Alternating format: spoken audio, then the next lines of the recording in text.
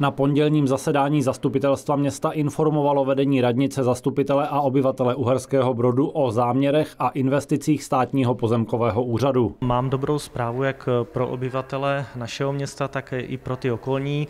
My jsme získali informaci od státního pozemkového úřadu, že v letošním roce plánuje realizovat dokončení polní cesty, která vlastně byla v minulém roce zahájena na katastru území Drslavic a letos by se zrealizovala ta doplňující Eh, cesta, která by byla na našem katastru přímo v Havřicích. Na příznivou zprávu čekali v sousedních Drslavicích, kde 3 metry širokou silnici s rozšířenými úseky pro míjení zemědělských vozidel dokončili na podzim.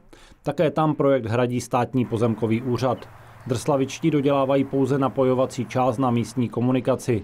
Stejně tomu bude i v Havřicích. Slibujeme si od toho do budoucna, až město Uherský Brod dodělá svoji část úseku propojení právě s královským městem a samozřejmě daví cyklistů, kteří normálně proudí po eh, silnici třetí třídy.